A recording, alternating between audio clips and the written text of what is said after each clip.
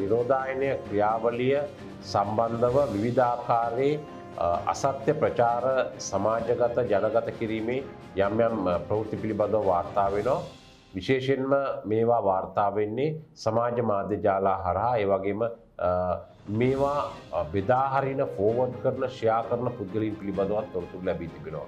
යම් ප්‍රදේශයක් හුදෙ කලා කිරීම හුදෙ කලා බව ඉවත් කිරීම සංචර්ණ සීමා පැනවීම ඉවත් කිරීම මේ ආදිය සම්බන්ධයෙන් අසත්‍ය ප්‍රචාර මේ ආකාරයට පලකිරීම සිදුවන බවත් ඇතැම් YouTube නාලිකා මගින්ද මේ ආකාරයට සිදු කරන බවත් වාර්තා වී තිබෙනවා මේ සම්බන්ධයෙන් සොයා බැලීමට ශ්‍රී ලංකා පොලිසියේ අපරාධ පරීක්ෂණ දෙපාර්තමේන්තුවේ පරිගණ කාංශයත් ඒවගේම තොරතුරු තාක්ෂණ කොට්ටාශයත් ක්‍රියා කරනු ලබනවා.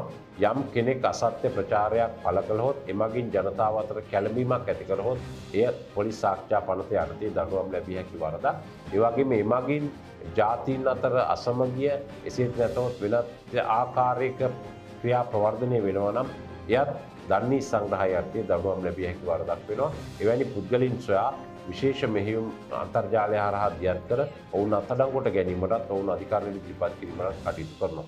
ඔබට යම් තොරතුරක් ලැබුණොත් සමාජ මාධ්‍යජාලා හරහා ඔබ ලංකාවේ සාමාන්‍ය ලියාපදිංචි රූපවාහිනී ආයතන FM නාලිකා ප්‍රවෘත්ති පත්‍ර එම ආයතනවල වෙබ් අඩවියට පිවිසෙන්න එයින් ඔබට පරික්ෂා කර ගැනීමට හැකියාවක් තිබෙනවා එම පුවත සත්‍යද කියා. එසේ නොමැතිව සමාජ මාධ්‍යජාලා මගින් හෝමාරුවෙන පුවත් ගැන පමණක්ම විශ්වාසය තැබීමෙන් කටයුතු කිරීමෙන් වලකින් ලෙසට ඉල්ලා සිටිනවා.